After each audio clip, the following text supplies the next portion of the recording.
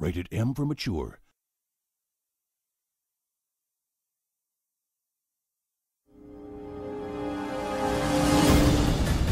Ninja, the assassin in the darkness.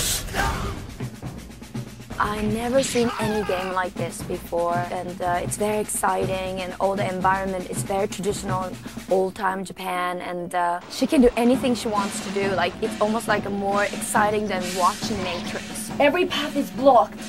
We must rely on the art of surprise.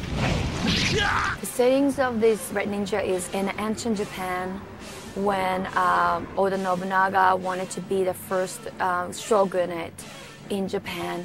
And there was uh, the two powers. One is a Takeda clan, and uh, the other one is a Uesugi clan. But this particular game is more about Oda and Takeda.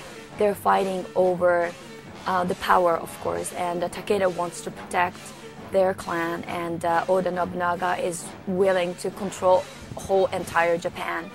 And this is the time when we are getting some modern weapon, which is a gun.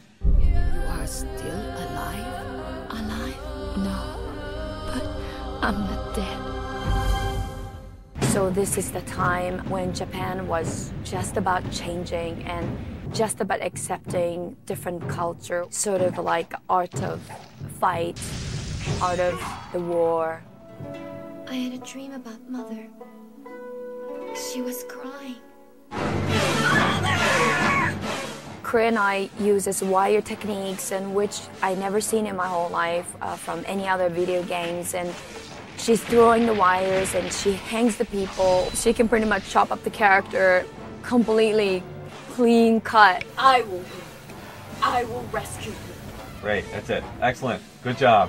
I need a candy.